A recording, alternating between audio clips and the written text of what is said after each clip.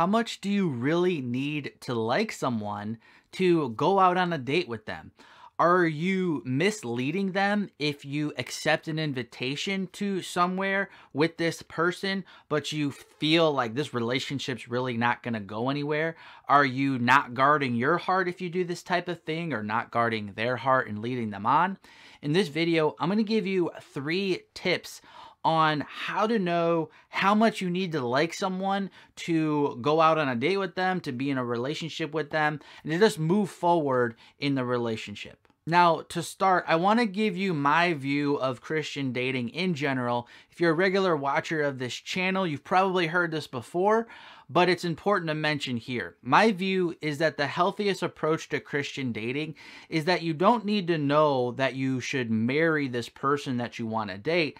However, you should be in a season of life where you would be prepared to get married if God brought the right person into your life.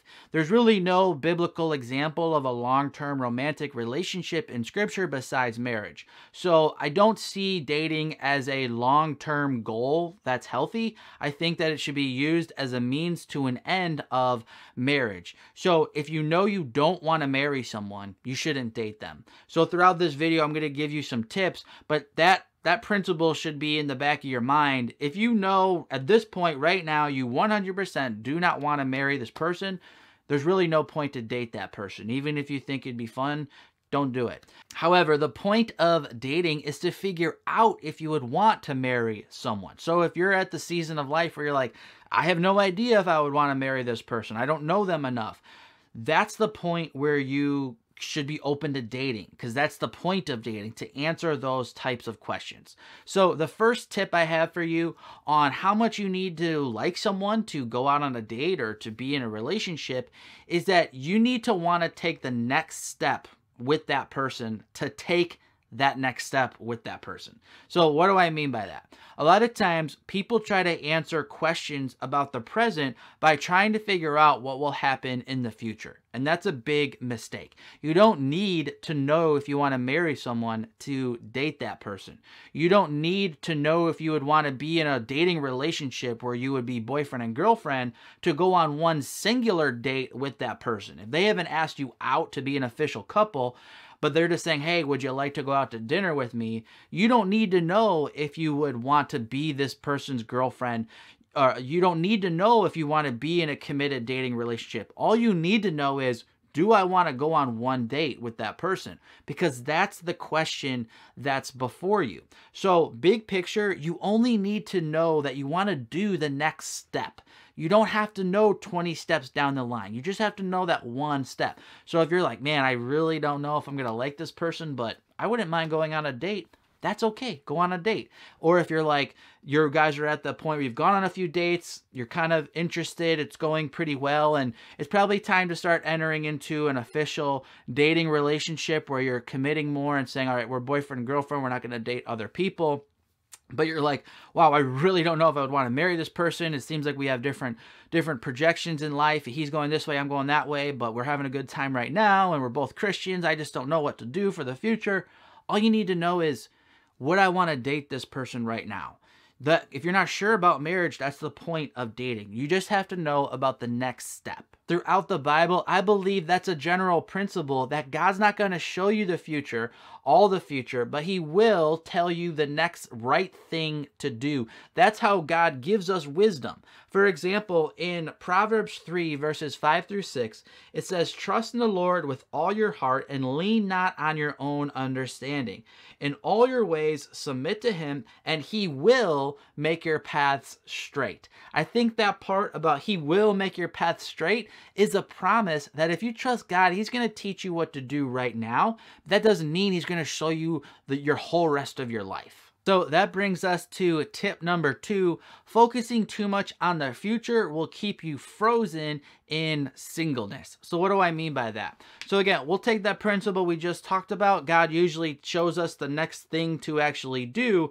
However, if you refuse to move forward until God reveals your whole future, you're going to get stuck in the present season that you're in because you're asking God to give you something and you won't move until he gives it to you. But as we just talked about, God doesn't usually do that. He doesn't usually give your whole future. He gives you the next step to take. So rather than taking the next step and the next step, and then, you know, you look back and, oh, wow, I just took 20 steps forward because God showed me at each point what step I needed to take. Rather, if you won't take the first step because you're waiting for God to show you the next 20 steps, you're never going to move forward at all. So, in Christian dating, if you refuse to move forward because you don't know the whole future, you're always going to be frozen in singleness. And finally, tip number three is really probably the most practical tip and also more of my opinion. This isn't something that I can like verify in scripture. I just think that it's a good, wise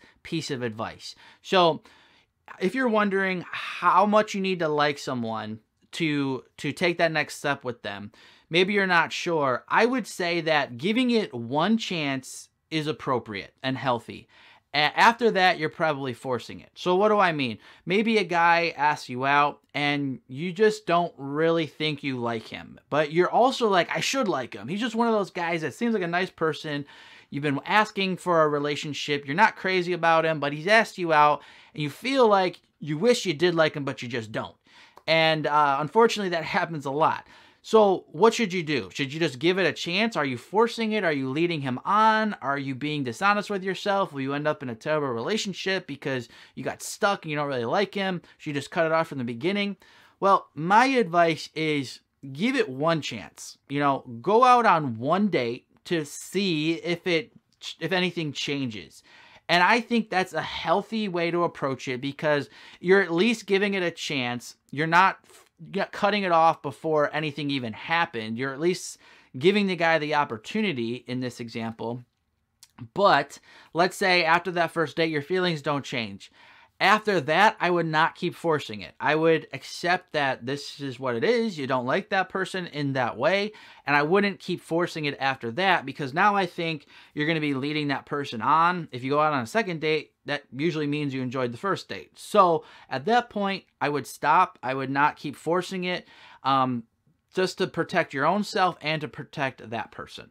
Or let's say you're a Christian guy and there's a woman that you feel is sending you signals and you know you're just not sure if you like this person that much, but it kind of feels like as the man you should do something to pursue her to at least figure it out if you do want to try something. I would say you know, there's nothing wrong with giving it one chance. Just like the advice I gave a woman who was asked out, I don't think it would be terrible idea if you're just not sure to try it one time, see what happens, and then after that, you know, make your decision. If your feelings changed, hey, go out on another date. Take the next step if you want to take the next step.